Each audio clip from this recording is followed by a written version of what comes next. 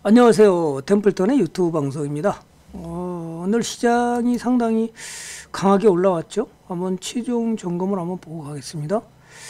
오늘도 어, 좋아요와 구독은 필수로 해주시고요. 또 제가 공개를 눌러야 되는데 공개를 안 누르고 먼저 건 어제 거는 어, 제대로 어, 이제 올렸습니다. 아쉽기는 제가 공개가 뭐 뭐가 순서대로 밟아야 되는데 그걸 밟질 못해서 그런 거니까 많이 양해해 주시고요. 오늘은 오래간만에 기관이 금융투자가 5천억이라는 강력한 매수하고요. 연기금이 1,900을 살면서 어, 시장을 이끌었습니다. 연기금을 코스닥은 개인들이 샀고요. 외국인들이 오래간만에 처음으로 3,700억을 매수하는 참 그동안에 돈도 제대로 못 벌다가 오래간만에 샀습니다. 금융투도 마찬가지고요. 자, 시장은 어쨌든 이제 점점 더 좋아지는 상황으로 가고 있죠. 제가 이미 여기 말씀드렸지만 시장이 그죠? 박스권에 한 번 돌파, 그 다음에 또 다시 박스권 두 번 돌파. 자, 이 박스권이 길지만 또 돌파 나갈 것이다. 매물의 저항을 받았지만 넘어갈 것이다. 이 평선이 전부 수렴하고 나서 튈 거다 그랬더니 역시 갭상승으로 오늘 나갔네요. 재밌죠? 자, 이러면서 시장은 안 된다고 그랬을 때 이미 자, 많은 전문가들이나 펀드 매니저들 뭐 시장을 뭐 짧게 잡아야 되고 중국과의 뭐 또 2차 뭐 무역 전쟁으로 해서 다 팔고 현금 확보해야 된다. 또 1300포인트 double dip으로 갈 것이다. new normal이 와서 큰일 날 것이다. 전부 이런 얘기만 여러분들은 들었습니다. 그죠? 그러다 보니까 종목을 다 놓치고 현금을 들고 이제야 주식을 사겠다고 달려드는 경우가 너무나 많죠. 그죠? 무엇을 봐야 되나요? 예, 시장은 6개월 내지 9개월의 선행으로 움직인다는 걸 여러분이 잊지 마시라는 걸그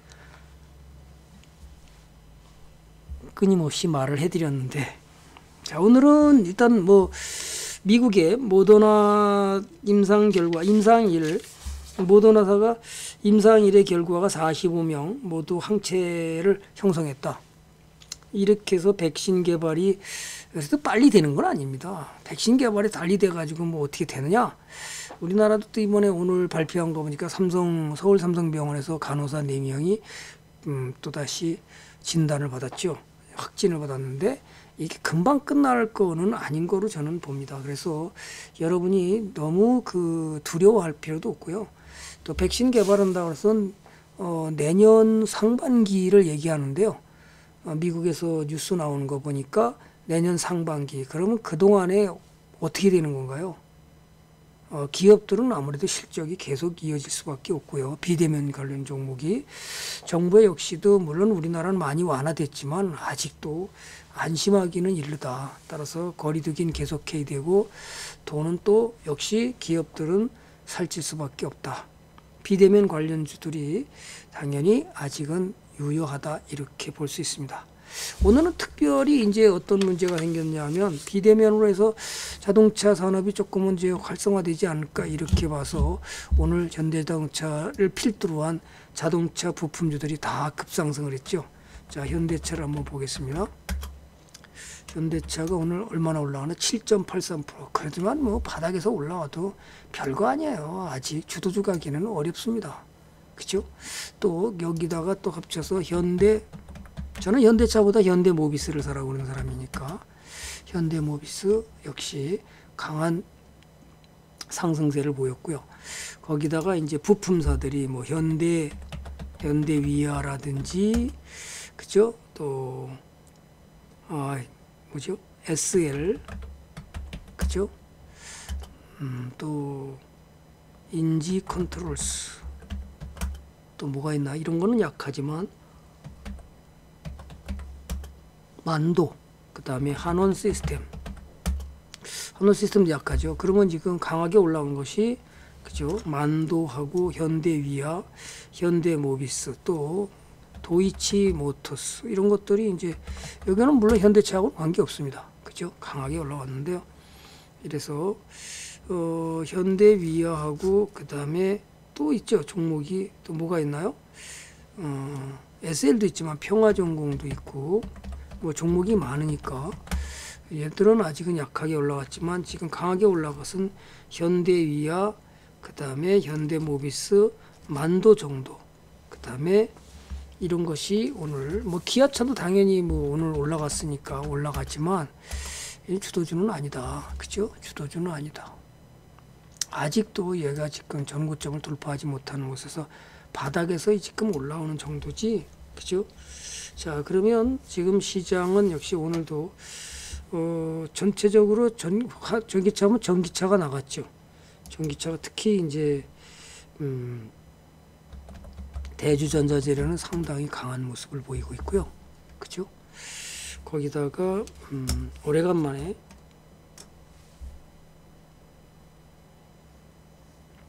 나머지 종목들은 그 카메 저기 스마트폰 수혜주들은 계속 나가고 있습니다. 특히나 이제 우주 일렉트론은 상당히 잘 가는데요. 우주 일렉트로닉스 그 다음에 아모텍도 오늘 좀 강하게 올라가는 편입니다. 아모텍 그죠? 와이솔 이런 것들이 좀 올라왔는데 아직은 뭐 멀 었습니다. 그죠? 이런 것들이 올라왔지만 그렇지만 이제 점점 좋아지고 있는 거를 본다 그러면 상당히 멀리 가지 않을까. 반도체도 하이닉스하고 예, 하이닉스하고 삼성전자가 올라가면서 하이닉스는 많이 못 올라갔지만 삼성전자는 예, 그나마 조금 더 올라왔습니다. 그래서 3% 정도 올라와서 전고점을 이제 돌파하는 모습을 보이는데요. 그죠? 또 올라갈 것으로 지금 보여지네요. 여기까지는 쉽게 가지 않을까 그렇게 보여집니다. 자, 그 다음에 이제 그 관련해서 이제 종목들이 삼성전자가 나감으로써 반도체 종목들이 꾸준히 올라가서 상당히 좋습니다. SNS테이라든지 그죠? 아이 뭐 이건 아직 뭐 말도 못합니다. 너무 세게 나가서 말도 못할 정도로 굉장히 강한 종목입니다. 그 다음에 원이 오늘은 그래도 또 원익 IPS가 상당히 좋은 모습을 보이고 있죠. 그죠? 또 굉장히 그러니까 삼성전자보다 수익을 많이 준다고 제가 삼성전자 사지 말고 이런 거 사라 그러면 사람들은 제 말을 안 믿었어요. 그죠? 지금 얼마 나갔나요? 오늘 그죠? 이 69% 나갔는데 삼성전자는 얼마나 나갔어요? 삼성전자는 3월 19일에서 어 삼성전자는 지금 3월 19일에서 뭐 올라봤자 69%가 안 되죠. 지금 기껏해야 뭐 17%인데요. 그래서 여러분들이 어떻게 매수해서 가야 되는지를 오늘은 결제 종목도 다 쉬었고요. 그죠? 전체적으로. 그 다음에 게임주도 좀 쉬었고요. 그 다음에 뭐, 어, 비대면 종목들이 전체적으로 좀 뭐 쉬었는데요. 그죠? 또 진단 키트 종목도 쉬었고요. 그 다음에 또 뭐죠?